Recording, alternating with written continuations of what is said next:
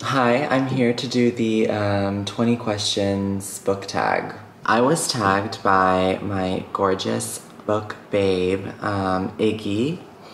Uh, I'm sure you all watch her. If you're not watching her, what are you doing? So I'll leave her video and her channel um, downstairs. That's what I'm starting to call it, downstairs. Also, we cleaned the floor, so I need to keep the doors open to get some like airflow so that it dries. So I hope that the audio is not too disturbed by busy motorcycles and such. So let me pull up the um, questions and then we can get into it. Okay, so question number one is how many books are too many for a series? I'm not a series reader. Um, like I never embarked on a journey of like a book that had a series that has like I don't know eight books or something. To be honest, like a trilogy for me is the maximum. I know that there's the Elena Ferrante like um, quartet of books and also Ali Smith's like a seasonal quartet. So maybe, maybe, but I'm I'm not sure. Question number two: How do you feel about cliffhangers? Yeah, I mean, sure. I mean, I think they work. I would definitely like probably pick up the next book or buy the next book or whatever if there was a cliffhanger. I think I like them. I don't know if I read so many books like with like dramatic cliffhangers. Like one of those cars that like cleans the street. Although like does it really clean the street? I don't really know if it's working. Number three, hardcover or paperback? Paperback for sure. I mean, real in reality, like I'm reading mostly digitally on my Kindle, so I would say like an ebook or like a Kindle. Um, but definitely, if I'm holding a book, I much prefer paperback. Like, I will break the spine immediately in like multiple places. Like I'm all for um, a book being comfortable to read. Like if it's comfortable to hold, then I want to read it. And I like a hardcover, like coffee table, like an art book or something, or a photography book. But for like a novel or something, um, paperback for sure. Number four, favorite book. This is horrible. Two things come to my mind. One is um, Year of the Monkey by Patti Smith. That's definitely like a number, number, number one book for me. Really, any Patti Smith. Like also Devotion. Um, yeah, Patti Smith. Probably like that. That would be my favorite book, Year of the Monkey. Um, and the other one that comes to my head, which is more like is fiction, would be The Vegetarian by Han Kang. I loved everything about this book, really. Like, everything about it the writing style, the imagery, the way it's told in three parts through three different um, points of view.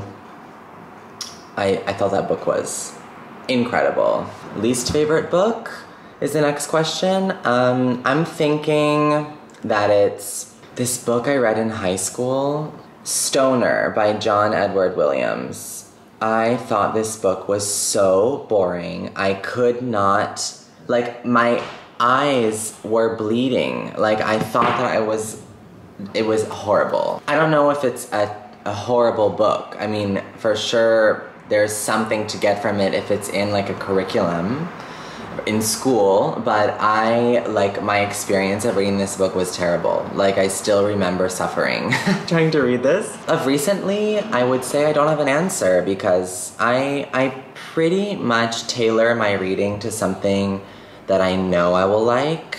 Um, or like I take recommendations from people that I feel I align with and like it's really rare that I end up reading more than 10 pages of something that I think is terrible. Number six, love triangles, yes or no? I guess yes. Um, sure. I just really don't have a single book that I've ever read that has a love triangle in it, but I'm open to the idea. Number seven, the most recent book you couldn't finish. Oh, I know exactly what it is. Okay, it's this one, The Discomfort of Evening by uh, Marieke Lucas Rijneveld. It um, won the 2020 International Booker Prize I talked about it in a vlog.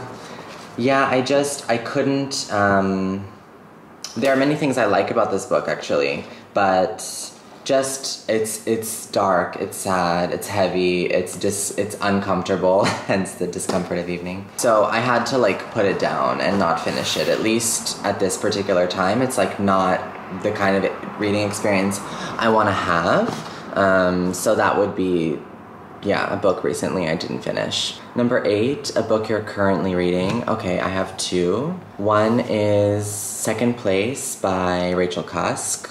Um, yeah, loving it. I'm discussing it in my current vlog that I'm filming this week. Um, so whenever that's up, you'll see. And the other book that I'm kind of dipping in and out of is Braiding Sweetgrass by Robin Wall Kimmerer. Kimmerer. Um, Indigenous Wisdom, Scientific Knowledge, and the Teaching of Plants. So this is a nonfiction. Um, yeah, I had this on my um, like TBR for actually quite a long time. I was seeing it in a few different places, and then um, Iggy also talked about this book in like her indie bookstore picks um, video, which is great, like full of amazing, amazing recommendations. So I'll link that video also downstairs. Number nine is last book you recommend to someone. You recommend it to someone. Um, I think Blueberries by Ellena Savage. I'm jumping on the train with Rebecca to like literally like blueberries propaganda like get everybody to read this book. So um, yeah i'm recommending that like every other day i feel like. Number 10 oldest book you've read by publication date. Girl. I didn't finish this book actually but um, eventually. But it's uh, the kreutzer sonata by leo tolstoy um, it was, the publication date is 1889. Um, yeah, it's like this kind of strange book that like takes place on a train but the character that like was sort of the focus of it was just like so unlikable and he was just ranting and ranting and ranting and ranting on the train and i was like at a certain point i, I couldn't listen to him anymore but that would be the oldest probably publication date book that I ever picked up and started reading. Number 11, newest book you've read by publication date. Um, probably the one I'm reading right now, which is Second Place by Rachel Cusk. Um, it's not out yet. Uh, the expected publication date is May 4th, 2021, so that would be the newest. Number 12, favorite author. I would say uh, Patti Smith, again, probably. Patti Smith. Um, I mean, I feel like I read so many great authors. Like I love Rachel Cusk. I'm like watching, uh, reading her right now, and loved Outline. Um, so she's another like new voice to me that I I really love. Ellena Savage that wrote Blueberries. I think she's incredibly brilliant. Also, but like favorite author to this date would be Patti Smith. 13. Buying books or borrowing books. Actually, I would love to borrow books. Um, I don't have a library near me. Um, well, there is a library, but I'm living abroad, so most of that library is going to be full of like um, Hebrew books that like I can't read, not at least not yet. So yeah, like buying books is the reality of life for me. But I love the idea of borrowing books. I love the idea of people passing books on. Number 14, a book you dislike that everyone seems to love. That's the thing, I rarely find myself reading books that I like really dislike. I'm gonna get so much hate for this. Everyone, well, not everyone, but many, many, many people that I know love Sally Rooney, um, specifically normal people. And to be completely honest with you, nothing interests me about reading that book. Like, nothing.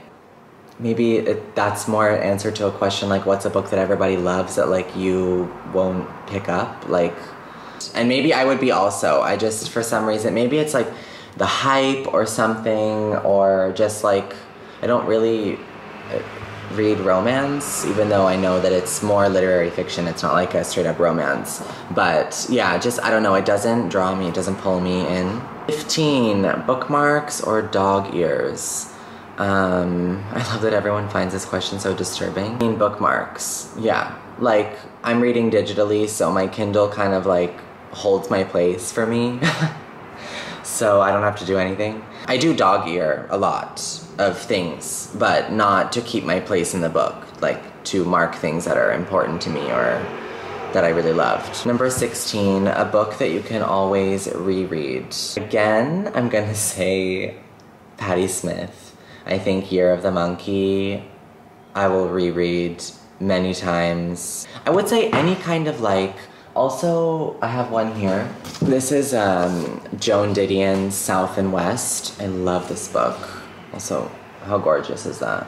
This is a hardcover, I actually really love it because of the size. It's like smaller than an average book. Is it? No. What am I saying? Okay, a little bit. I don't know. It feels small to me. um, but this is sort of like a travel journal. I would say like a literary travel journal is sort of what this is. So I would definitely like reread that for sure. Number 17, can you read while listening to music?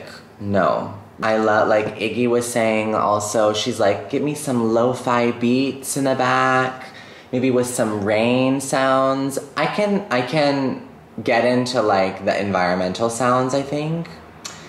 But still, I like lo-fi beats absolutely couldn't work for me. Like, I don't know, I need silence, um, or not silence, like I just, I don't care if I hear sounds from life, um, but I have a hard time reading next to someone having a conversation. Like I try to read at work sometimes, but there's like a lot of people talking, um, and it's hard.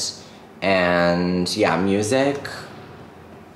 I just have never been able to do that. 18, one point of view or multiple? Um, I would say doesn't matter. I think multiple I've enjoyed, and also one I've enjoyed. That person needs to, or that voice, like you need to connect to it, or I need to not get bored by it. Um, if you're with one person the whole book, then I think it needs to be captivating. Um, but yeah, either one. Number 19, do you read a book in one sitting or over multiple days? Um, I've done both.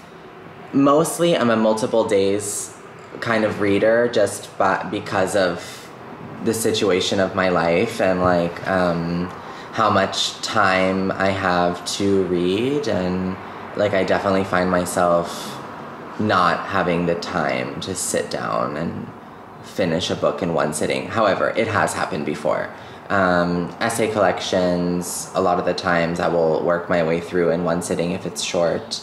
A short book, I will um, sometimes read in one sitting. And I like to do that. I really like to do that. Um, a few times that I've been able to like really get sucked in and just like read it all in one thing, it's been amazing.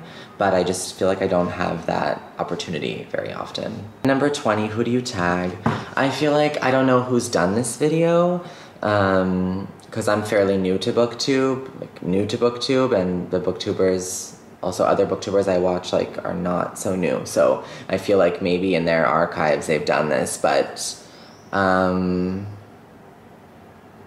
I mean, I will think of some people and put them in the description bar, um, and I'll let them know. I'll ask around and see if people haven't done it. But if you're watching this and you haven't done it, I tag you um, answer these 20 questions for us and let's get to know you a little bit.